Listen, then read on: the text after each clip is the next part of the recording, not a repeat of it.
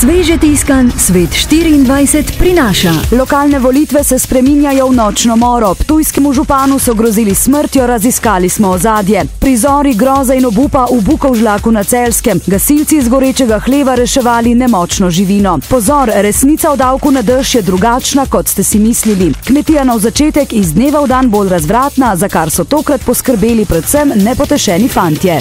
Svet 24 od ponedeljka do sobote. Za naročnike samo 70 centov. Svet24.si